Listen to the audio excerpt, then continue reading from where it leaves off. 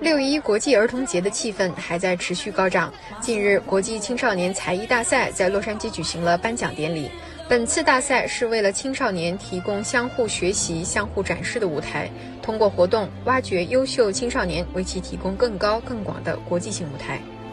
啊，那我们电视台媒体呢，就提供了一个平台和机会，给怀有各种各样才艺的小朋友啊一个平台，让他们在这个舞台上。展现他们的才艺，展现他们的智慧。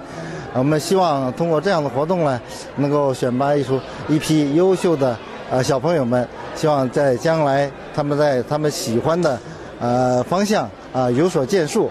那么祝在这里呢，我也祝贺这个呃比赛呃成功举办。本届大赛共分为模特、声乐、舞蹈、乐器、语言和其他共六大类，吸引了两百多位当地选手参加。大赛的评委来自好莱坞的导演、制片人和演员等。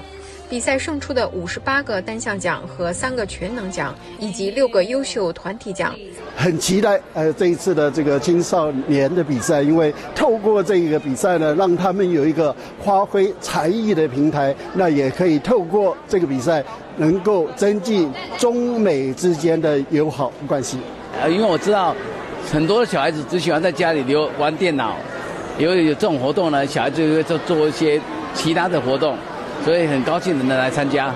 非常帮助年轻人，让他的才艺有地方可以去发挥。那这个课后辅导活动是非常重要，Dancing, Singing, Performing 啊，我们的都市 West Korea 目前也有这免费的才艺班，是希望让这些青少年都有这个机会，所以恭贺他们成功，尤其让这些青少年更好的环境里长大。当天的颁奖典礼上，大赛组委会收到来自美国国会议员、加州检察长、各市政县政府官员、议长等到场祝贺，并表彰了小朋友所取得的成绩。